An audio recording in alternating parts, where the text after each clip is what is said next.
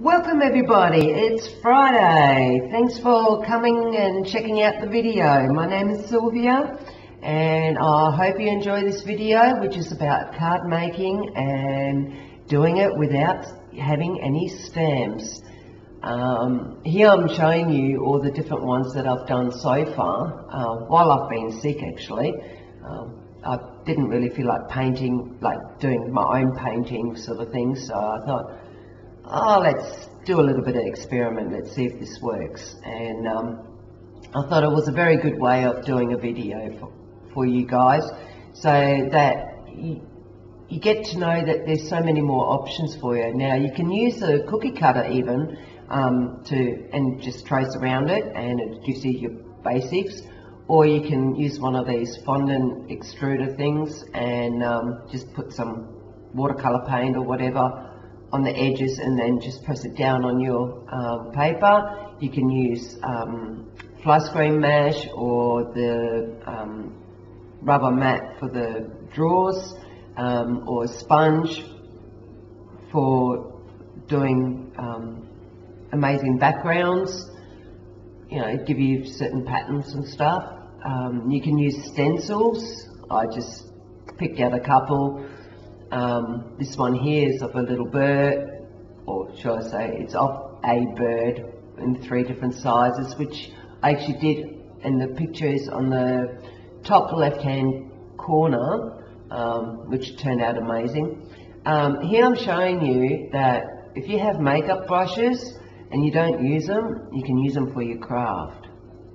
So you can use them for your watercolor um, painting or um, you know, putting other mediums on, dust them on, whatever it is that you need it for.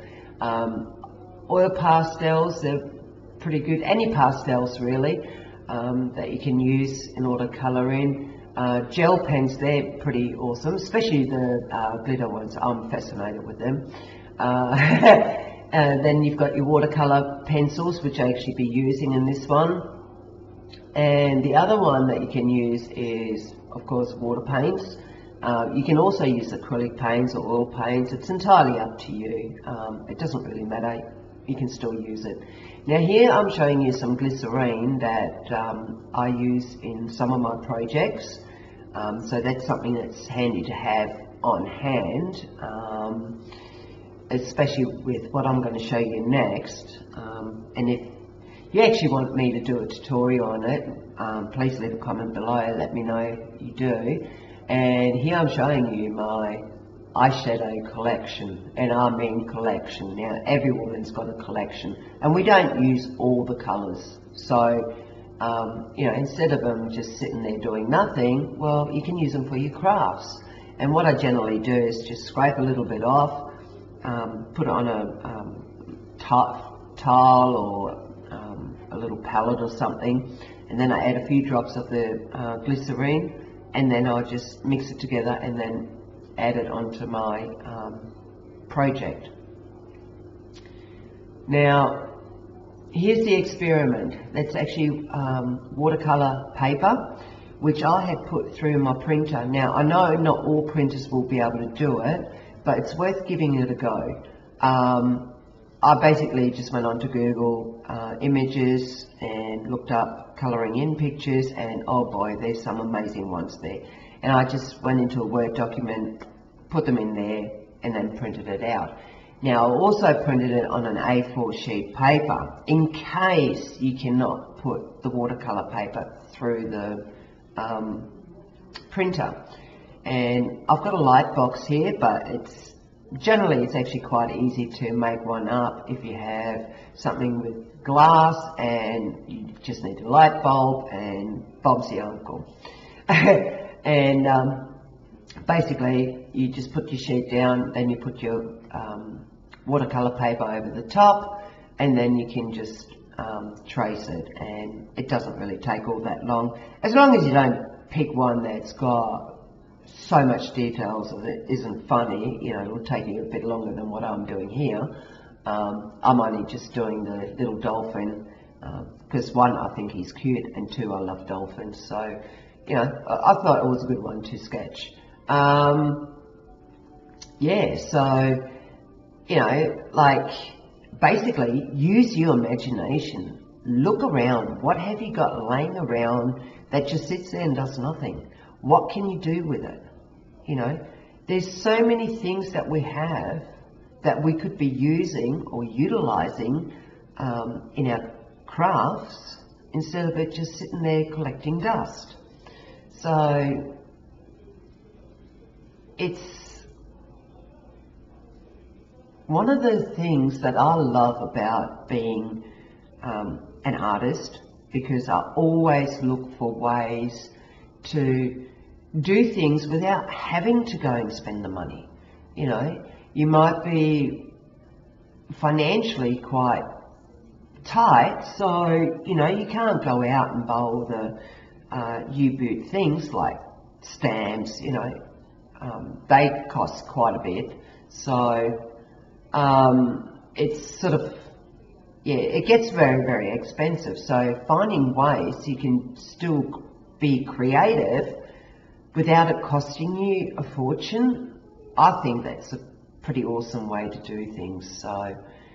Now I'm just packing up right now um, and preparing to do the colouring in on a couple of the pictures. Uh, no, I'm not. Oh, forgive me. There was another one I was going to show you, which is um, sketching um, a landscape, and then you can paint that.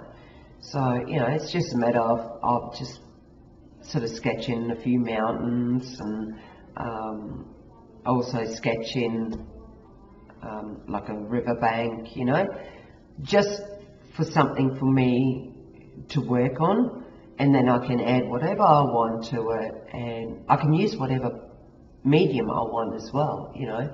And don't be scared to uh, mix your mediums either. Um, you know, you can come up with some really amazing things by mixing your media. So,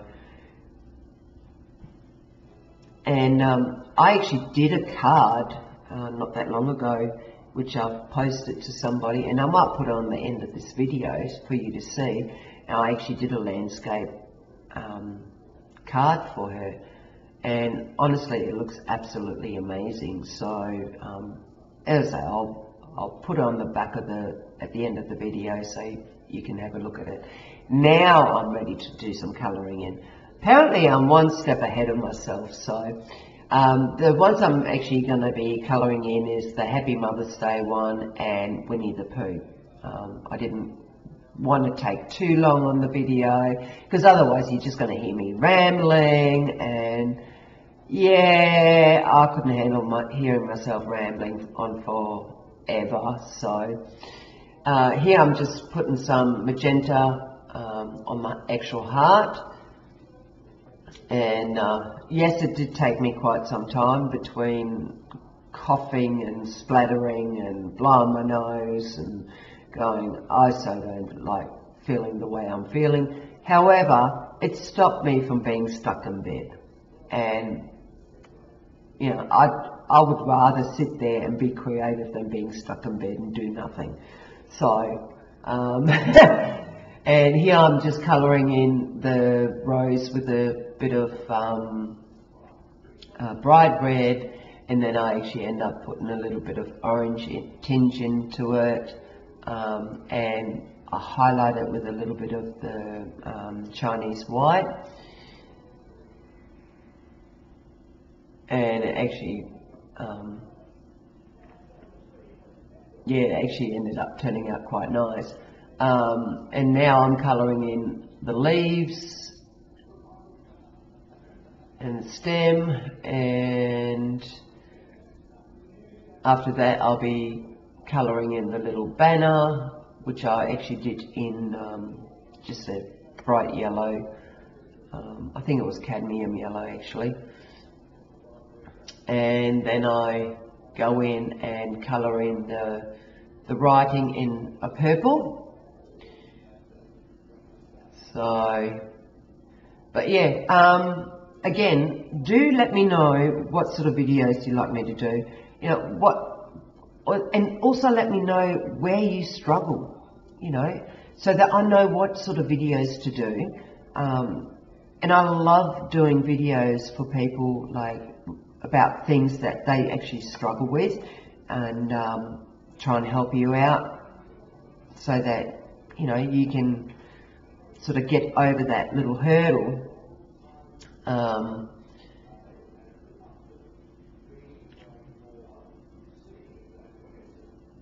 yeah, and I've just lost my train of thought, which is unbelievable.